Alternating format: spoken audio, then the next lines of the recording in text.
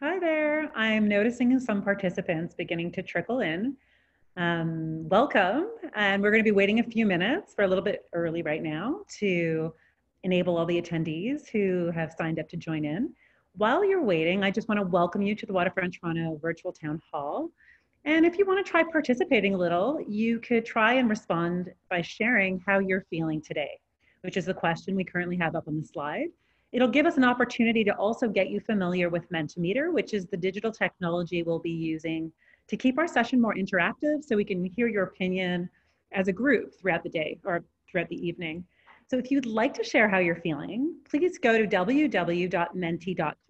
To do that, you can either open a new page in your web browser and type in www.menti.com, or um, you can open it up on your phone browser and just go to that web link, www.menti.com, and then you use the number code 7603493. You can probably see that on the top of the screen if you're joining us by computer. So we'd love to hear how you're feeling. Um, you can also use QR code just by scanning that on your phone if that's any easier. So feel free to do that.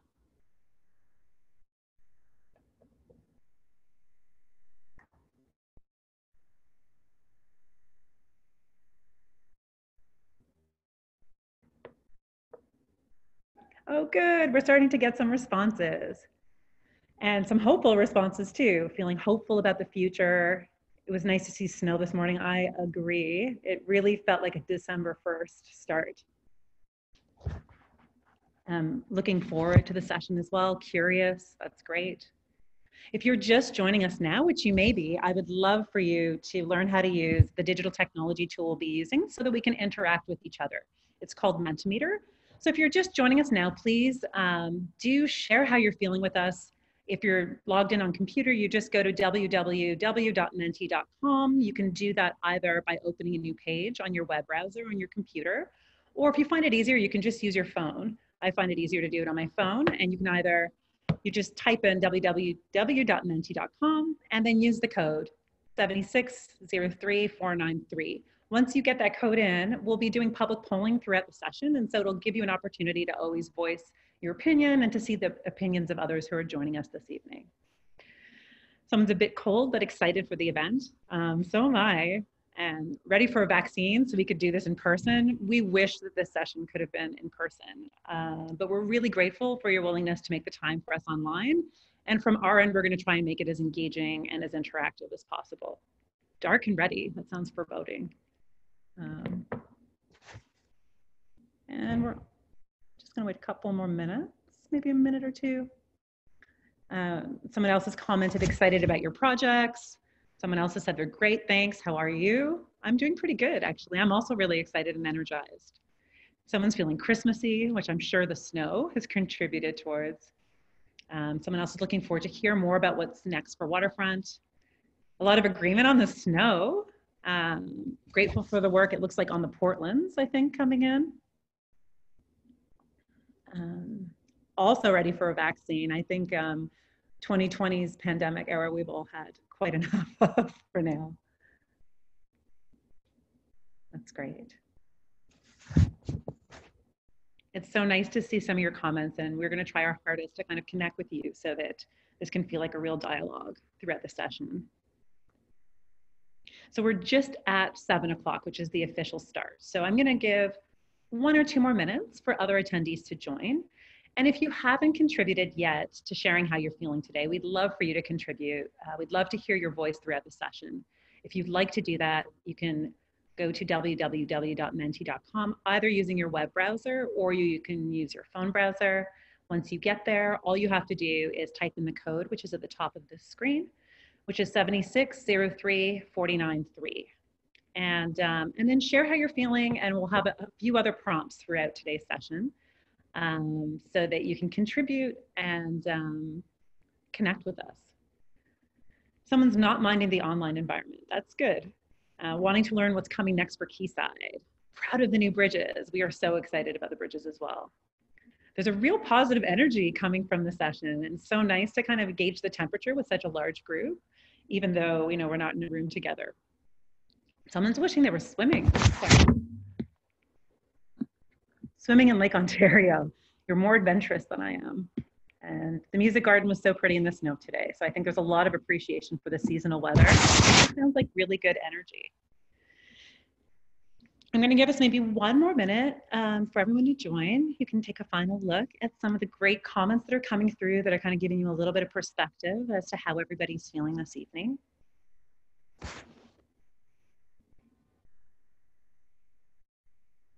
Okay, I think we're ready to start. Um,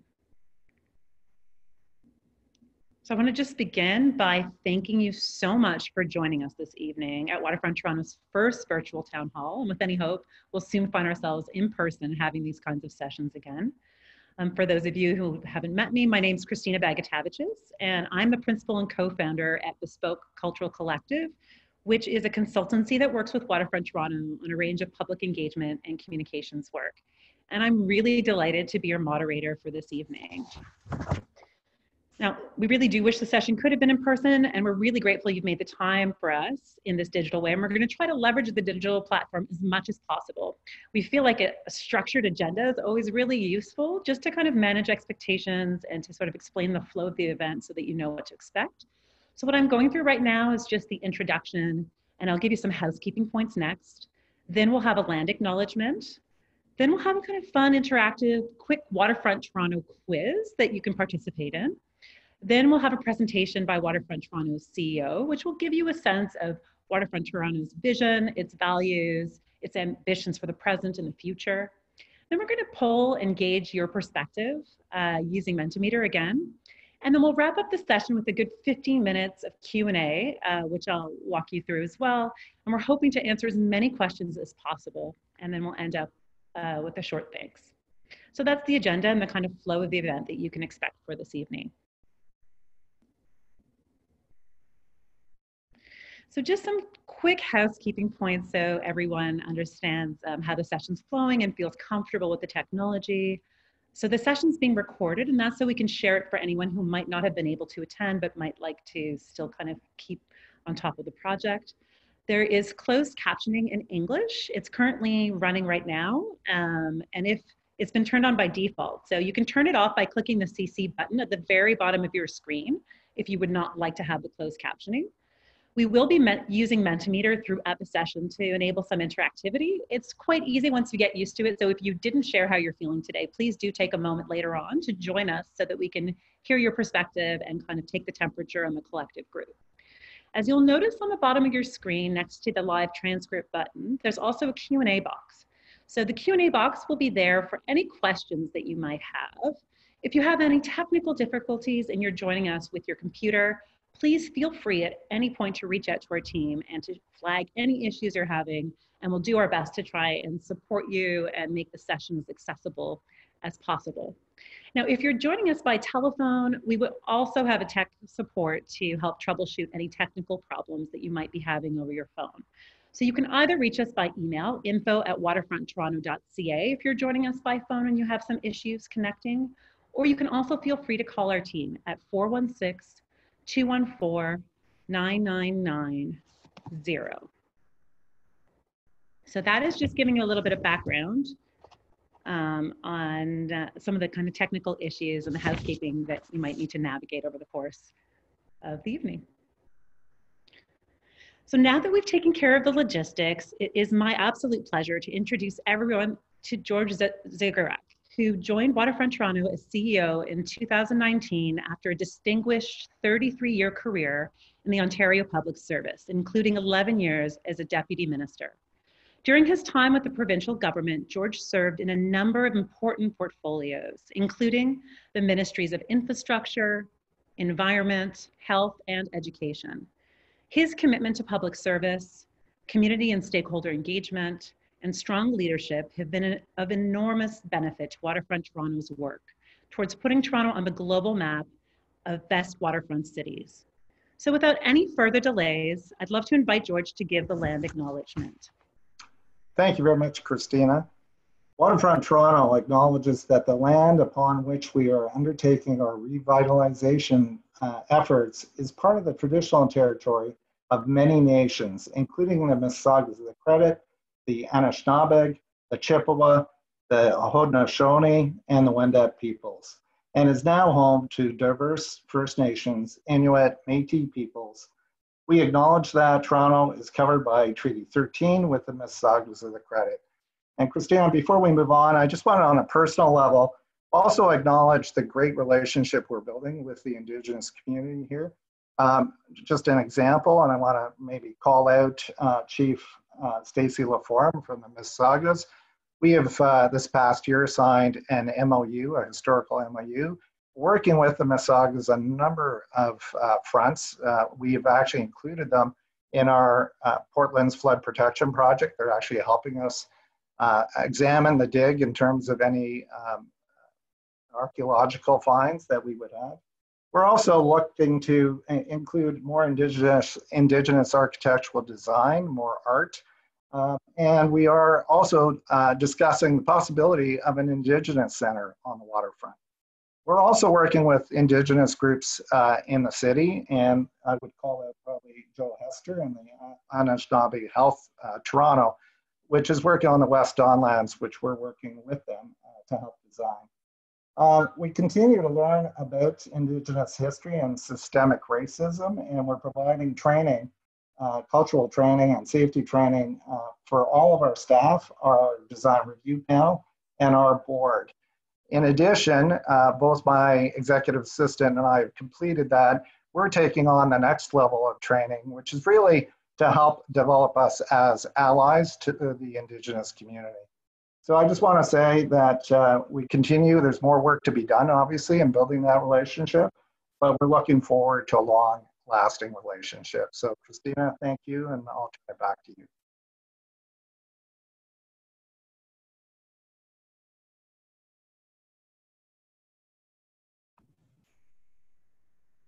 Hi there. Sorry, there's always a little bit of a lag when we're doing things digitally. Thank you very much, George, for the thoughtful land acknowledgement. And what we'd like to do with you right now is do a quick little Waterfront Toronto quiz. Uh, we want to test out what you know about Waterfront Toronto, and we also want the opportunity to interact with you and lift everybody's energy a little bit before we dive into a presentation on our plans for the future and the present. So I've got a little quiz set up for you, and I'd love to start to take you through it. Um, for those of you who hadn't used Mentimeter at the very beginning of the session, what I'd love to invite you to do is to join us on Mentimeter right now. So please open up your web browser or open up your phone browser, go to www.menti.com, and then use the code right on the top of the screen, which is 7603493. I see some of you have already answered the questions but there's over 220 of you joining us, so I'd love to see more of you participating in the quiz. So our first quiz question for you is, what popular public park did Waterfront Toronto design and build? Your options are one, Canada's Sugar Beach, Corktown Commons, Underpass Park, the Bentway, or all of the above. I guess the benefit of seeing things in real time is you can piggyback on the answers of those early on keeners who responded. So I'll give you all a couple more minutes, uh, or maybe a minute or two more to weigh in. And uh, again, please go to www.menti.com and just use the code on the top of the screen. So it does really look like there's a front runner on this quiz. Uh, I don't want to be presumptuous, but it does look to be the case that all of the above seems to be heavily weighted uh, in terms of responses. Although Canada's Sugar Beach, to be fair, is a kind of far off second. All right, why don't we, given that there's such a strong kind of view on what the answer might be so far, why don't we flip over to the answer? I'm sure you've been waiting with bated breath. Um, the answer is E, all of them uh, which many of you who responded actually knew already. So Waterfront Toronto's brought some of the most iconic public spaces and parks in Toronto to life. And um, they've enabled over 43 football fields of public spaces and parks um, to be activated throughout the city. And I'm not a huge sports fan, but that is a lot of green space. All right, let's try and go to our next question. And please do join us in this. Um, it's fun to interact and connect with each other. So we've got a next question for you. And this one might be a little bit trickier actually. This one is about art. So we wanna ask you, how many permanent public art installations has Waterfront Toronto brought to the waterfront? Is it one? Is it five? Is it nine? Or is it 10? This is certainly a harder question. Um, so I'm going to give everybody a minute to answer. And it looks like um, we're hedging our bets a little bit as a collective on this one. Um, and there's, oh, it looks like nine is in the lead, uh, five is in second place.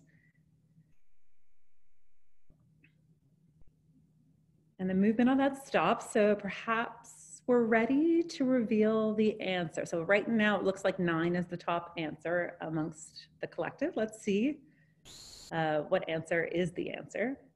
The answer is nine. So again, uh, the majority of people who are answering the quiz seem to be getting the answers right. Um, so the artwork on the slide is the Water Guardians on Front Street East in Corktown Common, and it was done by Canadian artists Jennifer Marman and Daniel Borins. Okay, let's go to our next question. And I would really just take a pause and I'm going to encourage uh, those of you who are not participating in the quiz who have access to a computer, we'd love for you to contribute. So please do take a minute to sign in to www.menti.com. We really want to hear your opinion throughout the session. Um, and it's just really great to see it visually kind of taking shape.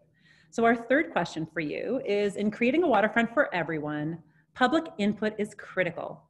How many public and stakeholder meetings has Waterfront Toronto held since 2006? I think this is a really difficult question. You likely have to go with your gut on this one. Um, although there's some really quick responses happening and there again seems to be a kind of confident front runner answer that seems to be showing up in our quiz. I'll give it another second or so just to see if there's any more movement and if anybody else wants to contribute.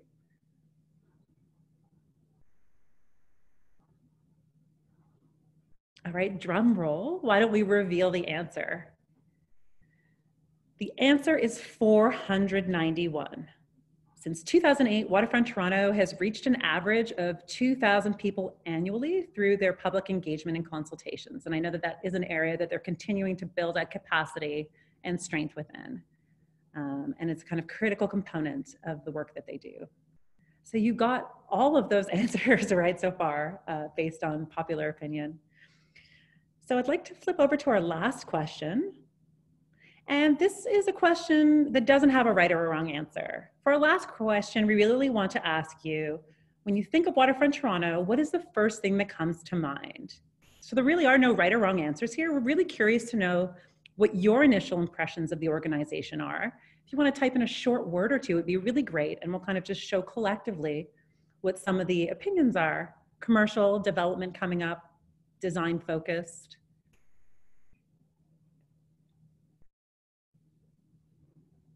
And nice to see that taking shape in real time. And the nice thing with the word cloud as well is that if a word gets repeated or if you see a comment that you stand behind, um, you can kind of give weight to that and it'll show up larger if you type in that word as well, if you feel like it's especially important. Interesting to see parks at the center and revitalization, community, development, integrity, mixed use, relaxation, control, exciting. Um, I see design there as well, well, public space, urban planning, fun. Community kind of is rising as well as a popular language choice or word, an impression.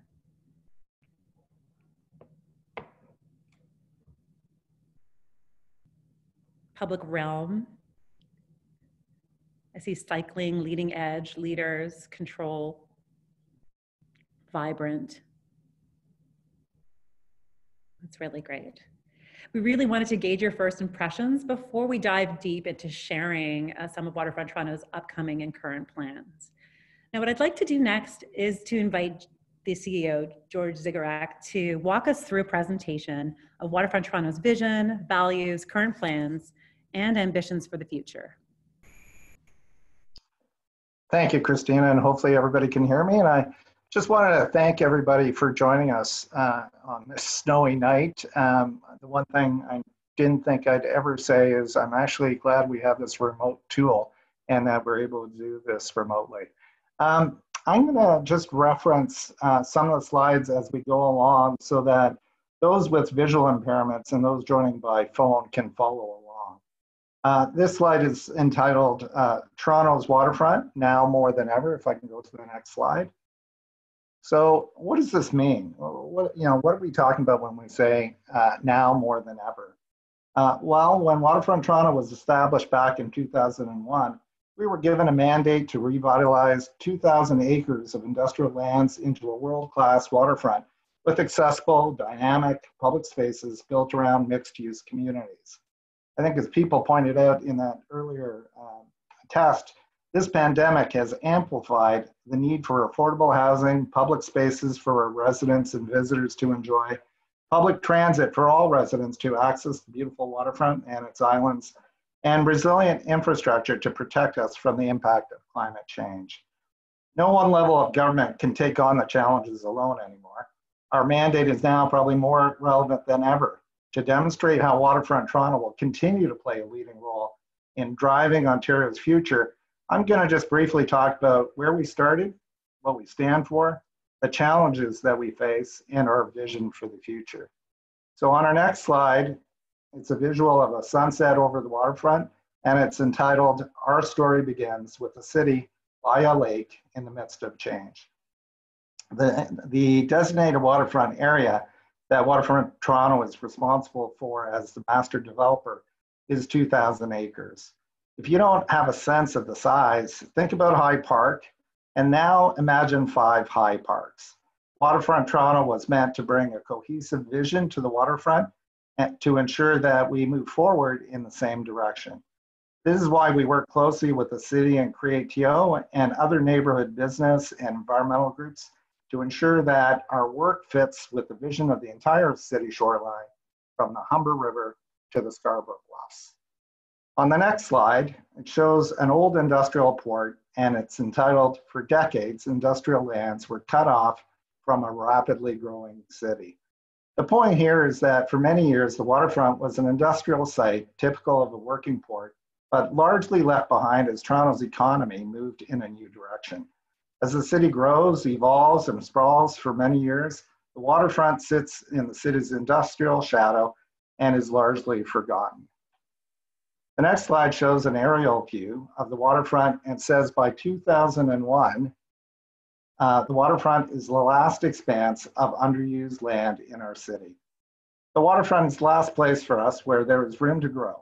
In part, this is because of the challenges that stand in our way when it comes to using the land.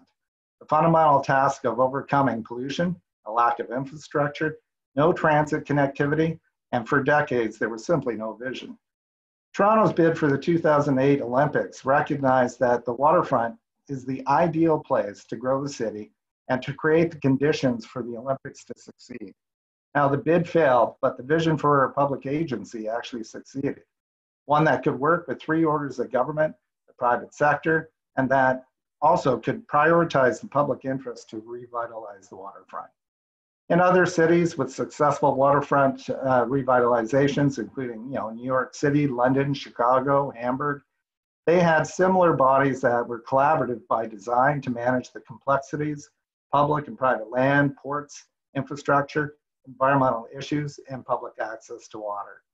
So this is proven to be a successful model.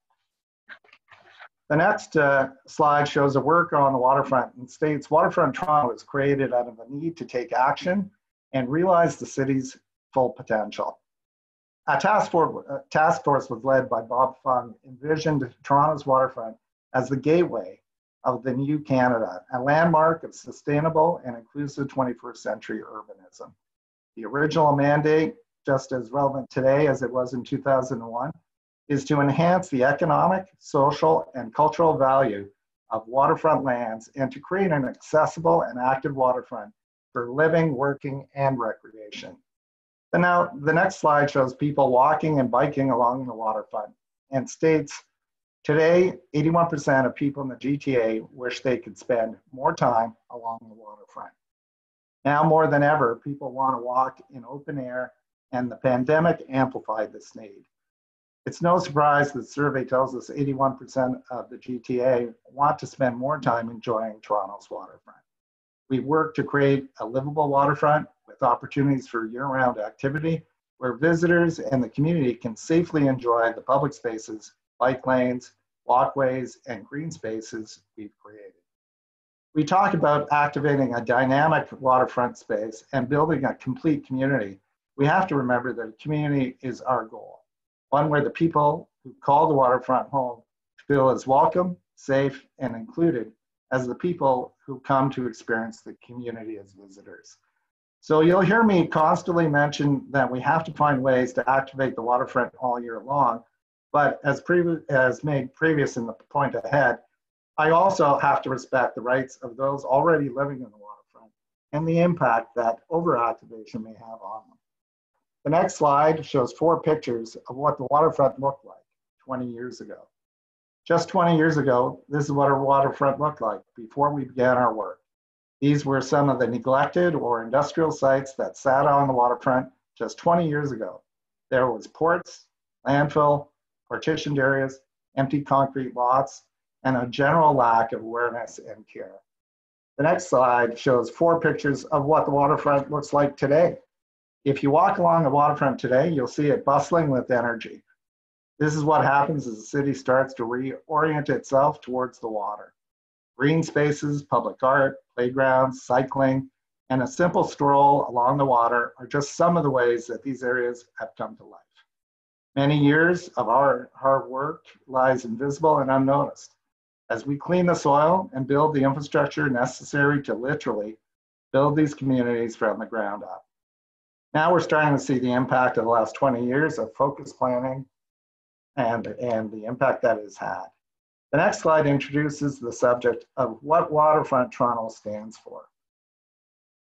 Now that we've had a little bit of a better sense of what, as to why waterfront uh, matters and what we were tasked to do, we wanted to share some context around what we stand for and how we get things done. The next slide actually shows one of our uh, community events and comments on our first principle, being relentlessly collaborative. Our commitment to public engagement is renewed with every project.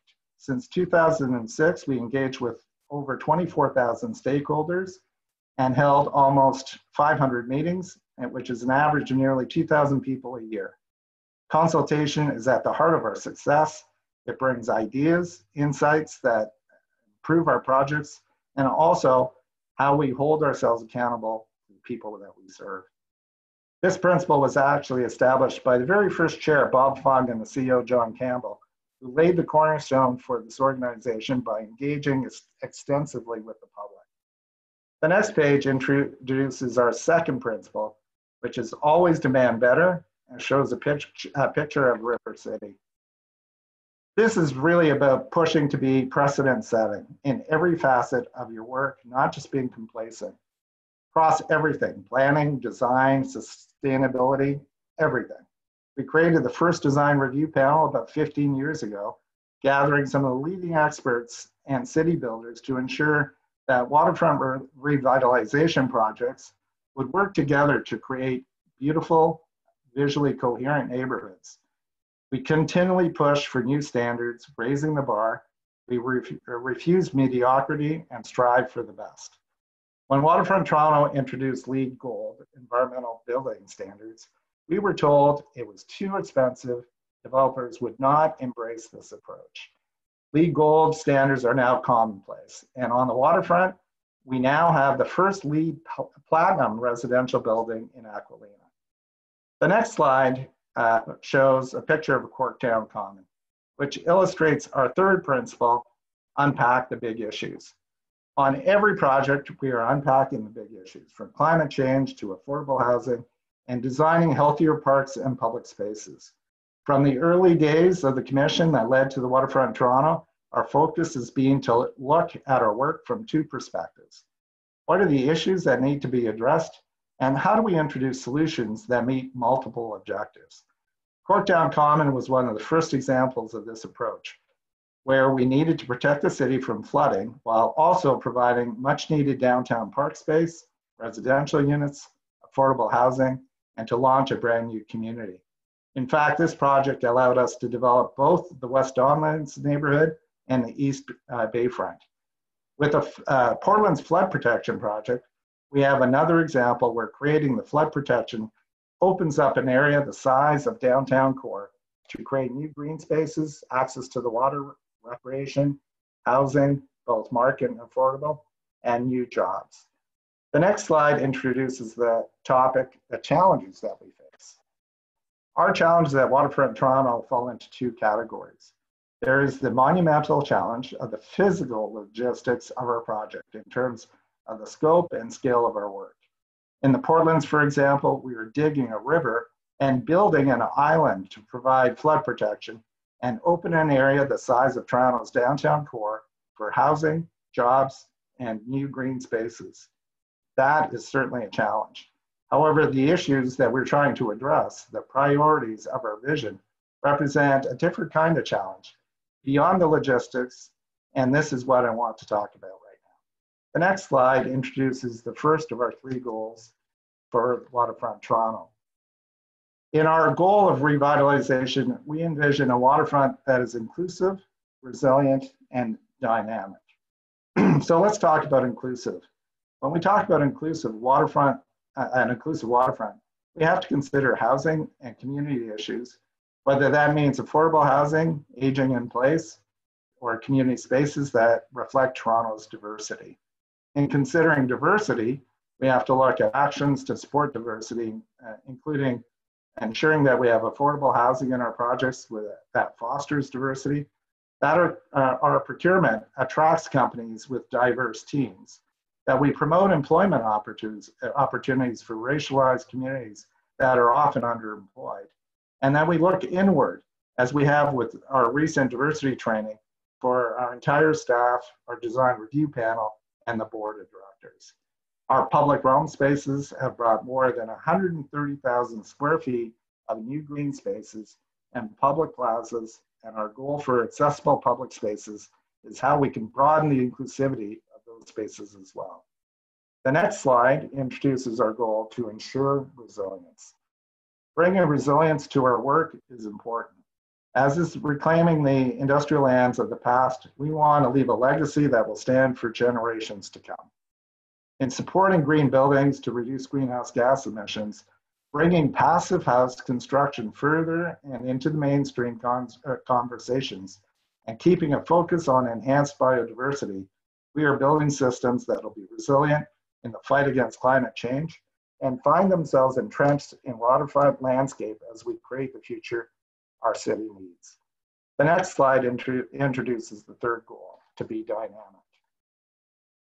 A dynamic waterfront needs more than busy sidewalks and attendance. It's also important, but it's also important to have attitude.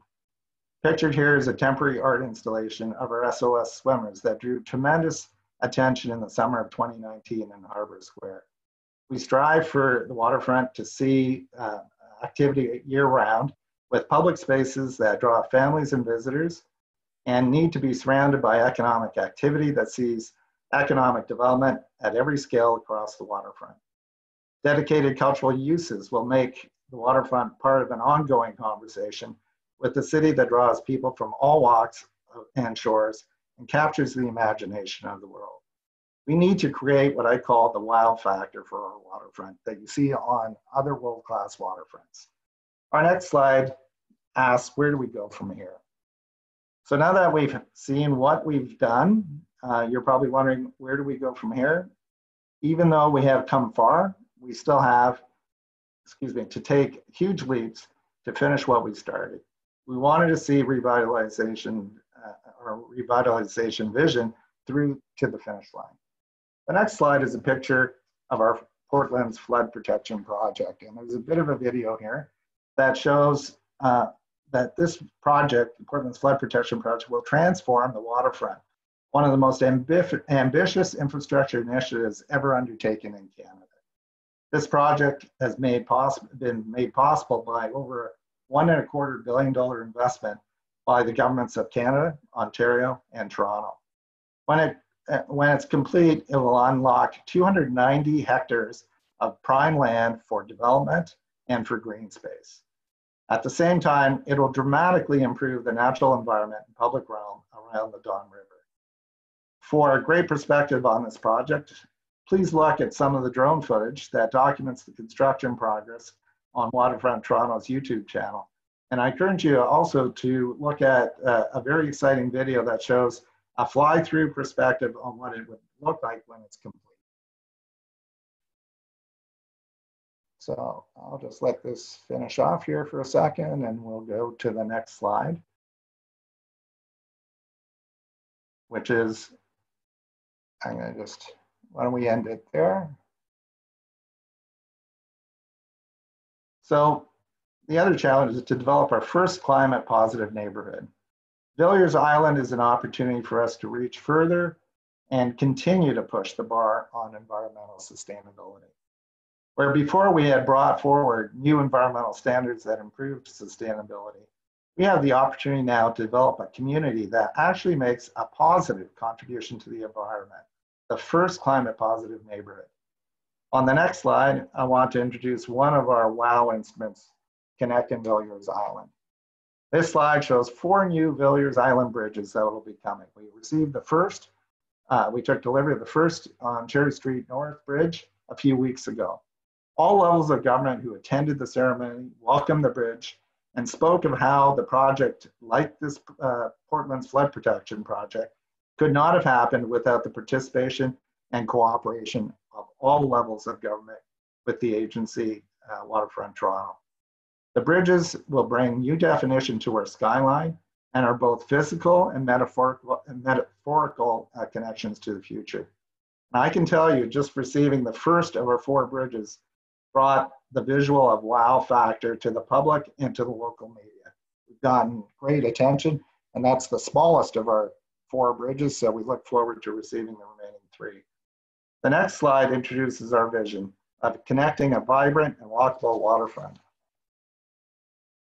A continuous promenade will let people get their wish of walking along the water as an integral part of their experience of Toronto. And talking to the public and inviting Waterfront Walk is what many people told us they wanted most. And this in particular was emphasized in our consultation uh, in the post-pandemic stitching together all of our district projects to each other and ensuring that they are connected within the fabric of the city and creating a stronger east-west and north-south connection are important aspects of our future. And following on the top of connections, our next slide talks about building stronger connections to the water. We've just released a marine use strategy report that looks at how we can better use the water as a resource for a range of uses and a variety of people. As I heard earlier, we talked about swimming, and we'll talk a bit more about that when we uh, look at opportunities for Quayside and other projects. But the report, the Marine Strategy Report, focuses on three areas movement, mooring, and management.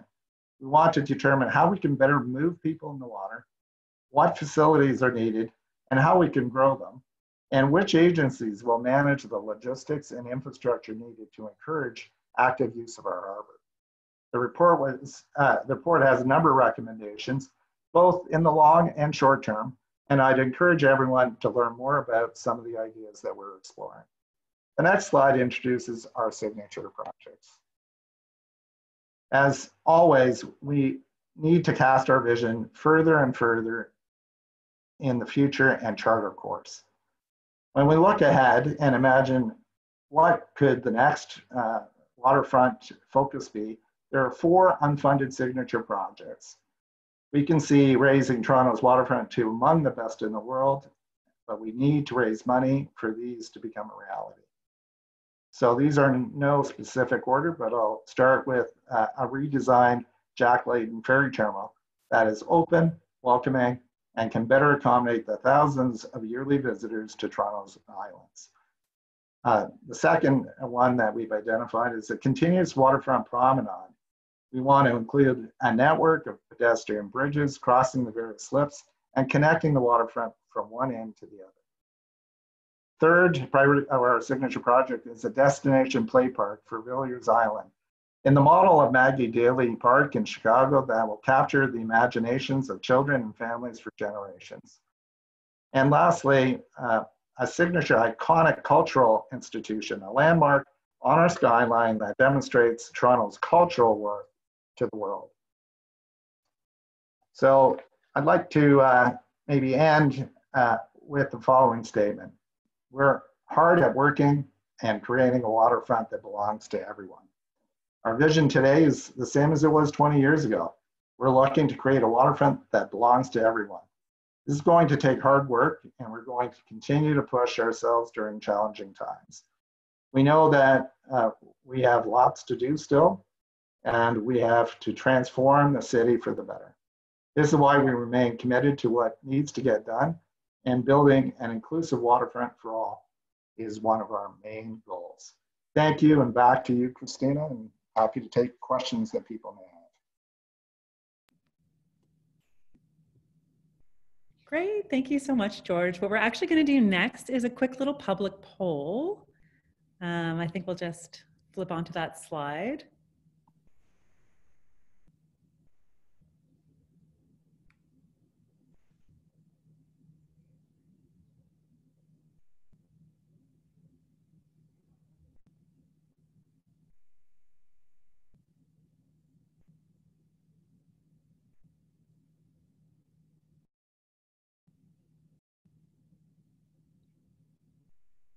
There we go.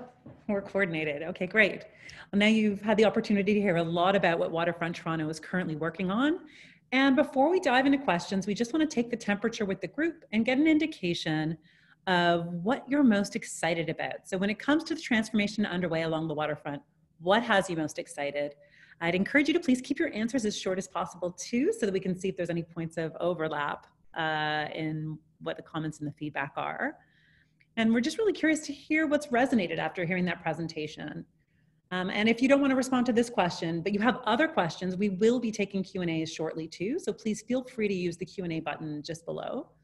Uh, and let's look, we hear someone here is interested and engaged in the waterfront transit. That excites them. The promenade, the cultural center. Um, there's a comment about less skyscrapers. There's a comment around making 10 times the public space that we currently have year-round usability of the waterfront, that idea of an iconic destination like the Sydney Opera House, swimming at Cherry Beach, especially like thinking about that during a snowy winter, December. Walkability and artistic design has come up, continuous walking. To see a stronger, more resilient, more usable Toronto waterfront finally. The idea of play, which is great, even hearing that kind of destination play piece uh, that is a potential opportunity. Open space connections, has also come up. Signature cultural icons, destination playgrounds, Villiers Island, pedestrian and non-motorized access and use of the waterfront, uh, walkability, an inclusive community focused on people, open, opening the new Don River mouth, so the Port Lands work that's currently underway, uh, continuous public realm along the water's edge, the future park and additional affordable housing options, got infrastructure for passive water users to access and use the lake, the cultural center coming up here again, connectivity and different possible clusters of dining, retail, and entertainment through the waterfront. So that idea of kind of activating the city in a dynamic way. New bridges, the Port Lands, walkability, transit. Starting to see some connections here in the language and the choices, accessible waterfronts, longer walkable waterfronts, new attractions in public spaces. So that's like that kind of a layer, the walkability and connectivity layer the Don River Naturalization in Villiers Island. Here, uh, Sustainability One, climate positive and welcoming green space. And continuous improvement and moving forward with the waterfront by engaging the public. There's a lot of really great things that everyone's excited about, and there's actually a broad range of feedback. So different kinds of plans are resonating, uh, you know, broadly across the spectrum of work that's happening. So with that in mind, um, what we'd love to do is use the remaining 15 to 20 minutes that we currently have to answer some questions. And so we're going to be looking to answer between five and eight questions from the public using the built-in Q&A function. So if there is an issue or a broader question you have for George that you would like to pause it, I'd suggest you just kind of click on the Q&A button that you'll notice is just on the bottom of your screen. Type in your question. Uh, and then we have a team from Waterfront Toronto who will be selecting some of the questions and we'll try to cover as many as we can in the 15 to 20 minutes that we have. Uh, and then if we don't answer any, uh, or if we don't answer your specific question, we'll be sure to do that either following up by email or in our blog that we'll be releasing shortly after the virtual town hall. So, what I might suggest we do, um, although I see there's really good feedback still continuing to come in, but I might suggest that we kind of get ourselves set up for the Q and A, and I'd love for everyone to take a moment to think about if they have any questions they might want to ask, and um, we'll hopefully kind of cover as many of them as possible over the next 15 to 20 minutes. Okay.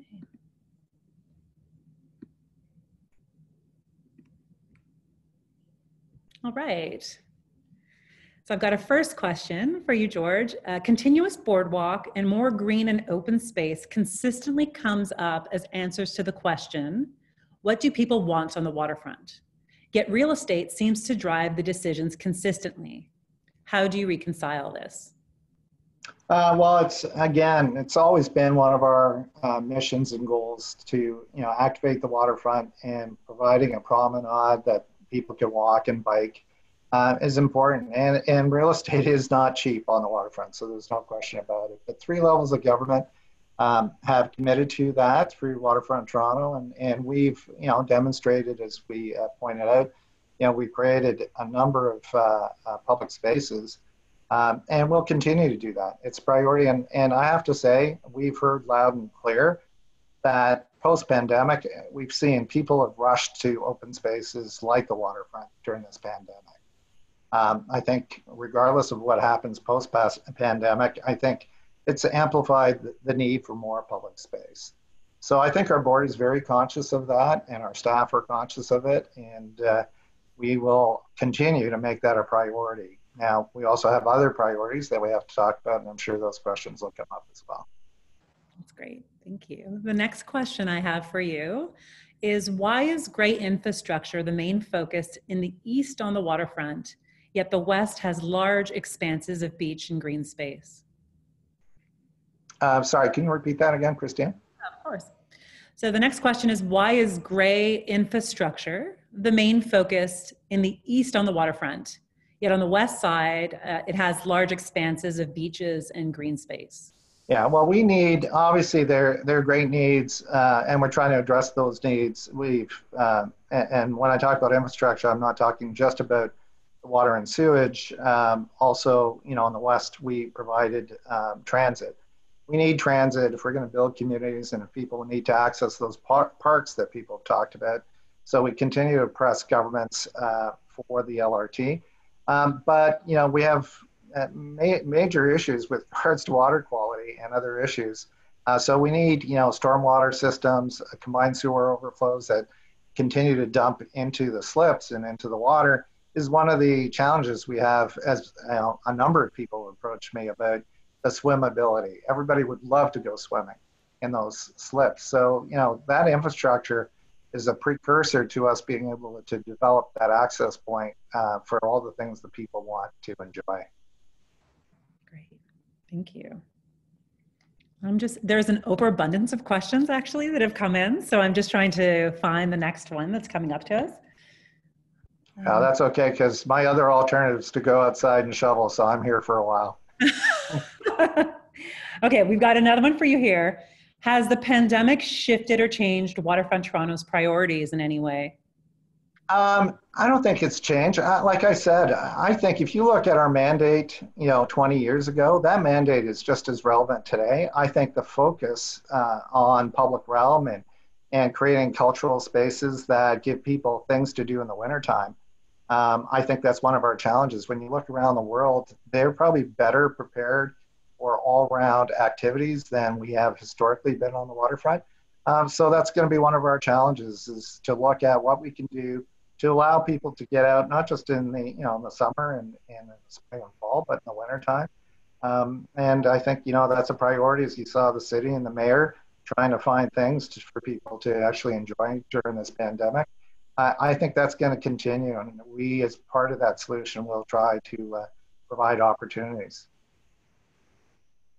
Great. Okay, I've got a next question for you from David Oppenheim. It's a bit of a long one. Um, okay. Uh, so, a question for you after your presentation. The waterfront from Queens Quay east to Parliament was sold to developers with little requirements in the way of public space. There are a few bright spots, like Sugar Beach, but the wall of condos that are being completed now effectively cut the city off from a precious resource, leaving a thin walkway in between private land. It's no Millennium Park, Chicago. What will prevent the same mistake being made in the rest of the Portlands? Well, I think you know we continue to work with the city around some you know some of the things they permit. I think both the city and Waterfront Toronto uh, would like to make sure that there's visibility to the waterfront. So most of those big towers are probably around the Gardiner, um, and but we want to make sure that you know we have open space, and uh, our commitment will continue to be to have park space and uh, greater access, not just you know, to the land, but we're also looking at how do we activate the water so that people can enjoy the water more as well. So, you know, we'll continue uh, to push that mission to have more public space with the city, and uh, we'll work with the city around what they permit in the area. Great. Okay. We've got another question for you. A surprise. How can we prevent this new neighborhood from becoming yet another franchise and formulaic retail area Villiers Island will be transformative for Toronto and turning over the keys to Starbucks, Shoppers, A&W, Scotiabank, etc., is not how we build a space to draw people worldwide.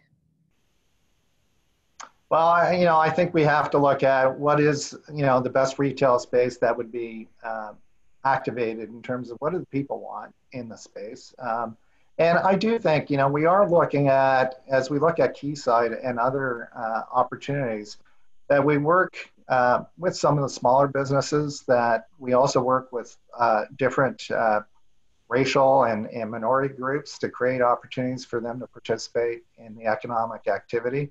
Um, and, you know, we'll continue to listen to the voices that Waterfront Toronto has always listened to as we try to develop this. But, you know, we do want some uniqueness. And, you know, as we look at raising the bar, I've talked about, you know, raising the bar in terms of what our expectations are on the water.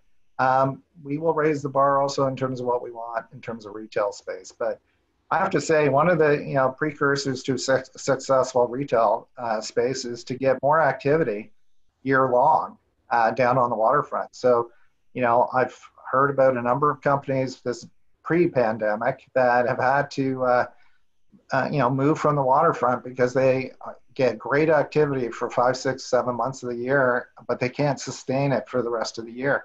So I think, you know, one of the key components that we need to actually focus on is what can we do to give people the opportunity to participate in the waterfront year long so that businesses can actually survive down on the waterfront.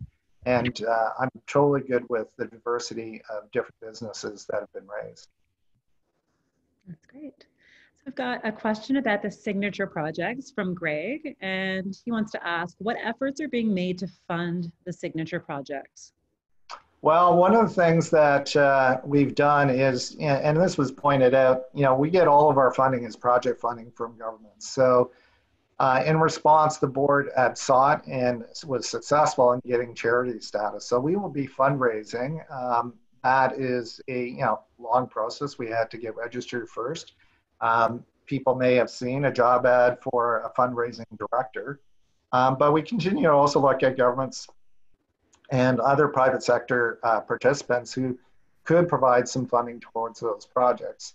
Know, when we talked about, we talked uh, uh, about the Chicago Destination Park, but there was an extremely successful one in Tulsa, Oklahoma, which I wouldn't call as a major uh, urban center like Chicago.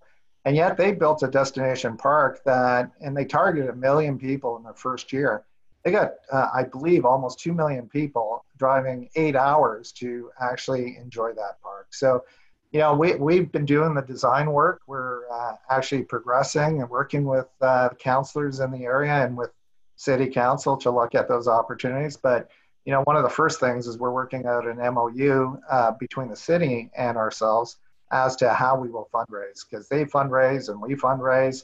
I think, you know, one of the things uh, to focus on is how do we align so we're not cannibalizing each other and we're working together? And the discussions are uh, proceeding on that. We'll have a fundraiser soon and we'll uh, be asking for donations the next time I have a town hall. That's great. So we got another question for you from Nadine. This one is around the Sky Dome. So her question is, speaking of landmarks, The former Sky Dome is slated to be destroyed. Will Waterfront Toronto have any say in its transformation of these federal lands? Uh, you know what? Uh, you know, we re- heard about this last Friday in the media ourselves. Uh, nobody's talked to us about this. Um, you know, obviously, we'll work with the city and federal uh, bodies uh, about the opportunity to influence what can happen.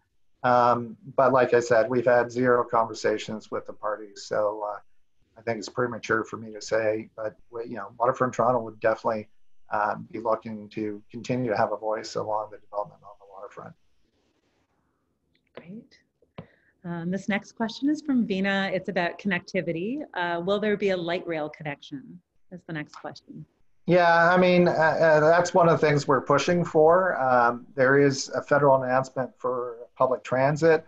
It's a little bit longer term. We're working, you know, we actually had a couple of visits and discussions with uh, some of the local politicians and uh, Mr. McKenna. Um, and both the mayor and I have talked about the priority to get LRT down there. Um, we've also shared that with Minister McKenna. He shared that, I shared that. Um, and hopefully we'll pursue uh, as much as we can to get that funding a little bit earlier and the commitment of uh, all the levels of government to help support uh, transit. Transit's an important part. If we're going to have to attract businesses and create uh, community neighborhoods, they need to be able to know they can get to work and get to their home. So uh, we will continue, and it's been you know, one of our priorities since the beginning of the establishment of Waterfront Toronto. So the answer is yes. Great. I'm just moving towards our next question. We actually had over a hundred questions coming through. All right. Furiously working through, trying to select in a really nice, you know, reach. All right. Well, you know what? I'm going to take a drink of water while you continue. We're kind of going through these very quickly, I realize as well. Okay. Almost there. And like you said, we can we can also answer if we run out of time. Uh, we'll find a vehicle to answer the other questions. So the next question we have for you is, is the Port Lands redevelopment still on schedule to be completed in 2024? Yeah, you know, uh, I highlighted this when we had the bridge delivery. I took the opportunity to remind uh, all three levels of government, the politicians there, that uh, we're proud of the fact that we're still scheduled on time and on budget. So I give um, you know my staff and and the contractors, EllisDon and their subcontractors, all the credit in the world. They've found ways, creative ways to keep going through the pandemic. And, uh, you know, I, am just uh, very proud of the entire team. That's great. So the next question we have for you is how will we get diversity of housing? Will there be co-ops? The term affordable housing is too vague and often not really affordable to people earning minimum wage in Toronto. Yeah, I, I, you know, the affordability issue is a big issue, and it's probably been amplified by uh, the pandemic. Um, you know, I, I, don't think people are going to be surprised that, you know, um, there's been some more emphasis on the income inequality during this pandemic. Um, I don't think I'm going to be able to wave a magic wand. We, we are committed to uh, 20% affordable housing in our uh, developments. We will continue to do that the board and my staff and I are looking at how do we ensure um, there's greater diversity in the allocation of some of those units, um, both in terms of residential but also on the commercial. Um, so we'll continue to look at creative ways to uh, make sure that we have more opportunity for different groups. That's great. I of course have another one for you. I feel like this is a rapid fire. no, it's okay. Just keep going. so the next one is what lessons did Waterfront Toronto learn from the experience with Sidewalk Labs? Well, you know what? I think, you know, Sidewalk Labs had some creative ideas in terms of public realm that we could continue to learn from. Uh, I think one of the things we wanted to ensure uh, as we go forward this time around that, um, you know, that whoever we have has develop, development experience um, and that they're familiar with the regulatory requirements and working in Canada uh, is a little bit different than perhaps working in the United States. So, you know, we'll be looking for experience uh, with regards to that. I think also, uh, you know, to be fair to everybody, a lot of the focus uh, was distracted on other issues uh, that weren't re- really relevant to the objectives. We really are continuing to focus on what are the service gaps, whether it's affordable housing, whether it's uh, looking at opportunities to have a more complete community, making sure it's not just young people on the waterfront or rich people on the waterfront. It's making sure that we, you know, have a, a multi-dimensional uh, community. And you know, I think unfortunately uh, some of those goals got lost. They were there the last time around, but I think you know we've pushed privacy off. Uh, there's not a lot of technology focus. Uh, technology might be part of the solution, but there's not a lot of focus on the technology. It's about service. And I think one of the key things is you know we punted. Uh, uh, privacy back to governments, and you know it's their responsibility to give us direction on uh, on the national level where privacy issues need to be addressed. And, you know, we recently saw the federal government coming forward with some progress in that area. So, I, you know, I think there were a lot of great lessons learned. Public realm is going to be important. I think it's even going to be more important. Um, but, you know, uh, I, I think we're going to be focusing on the experience of development probably more so than we might have had in the past. That's great. Um, just looking for our next question. Um, Oh, here we go. Will the new buildings be carbon neutral? Is the next question.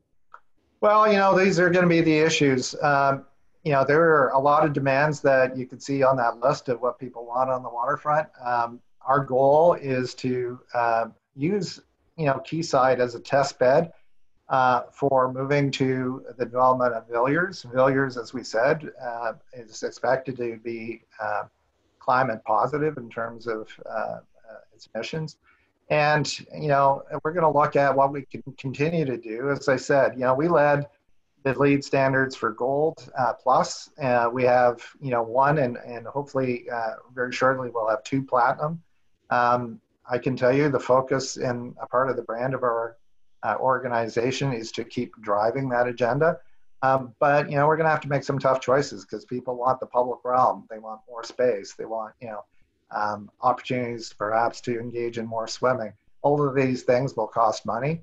And the only money we have uh, at this point is actually whatever we get from the revenue of the land.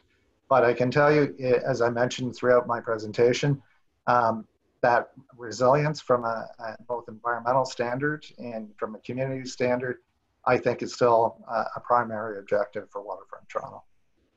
That's great. And this feels like a nice question to end on. We literally have one minute left. So thank you so much for covering so much ground, George, in terms of the questions that we have. And I would love to tell everyone who's joined in with us as well that if we didn't get to your question, we will be sure to get to your question um, through our blog and through responding um, by email as well. So we will kind of work through all the amazing kind of range of questions that were raised and make sure that we provide adequate responses to those so that the public's informed.